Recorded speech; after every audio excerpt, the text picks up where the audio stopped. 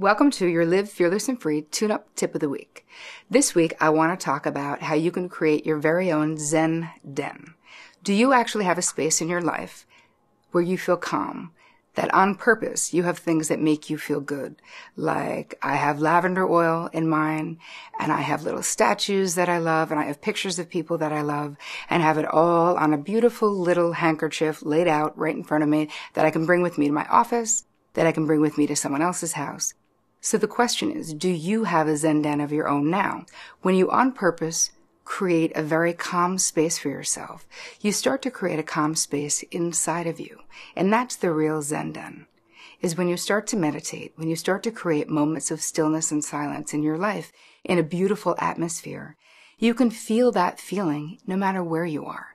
If you just take a deep breath and get into that calm space. That is your Zen den inside of you. But I'd actually be very interested in seeing pictures of your Zen den outside of you. So if you have a place in your home, I would love to see it. So please take a picture and post it on the blog. And if you don't have one, I challenge you. I'm throwing down the gauntlet. Let's see what you got. Make one, take a picture, and show it to us, okay? I hope you have an amazing week. I'll see you back here next week. And as always, take care of you.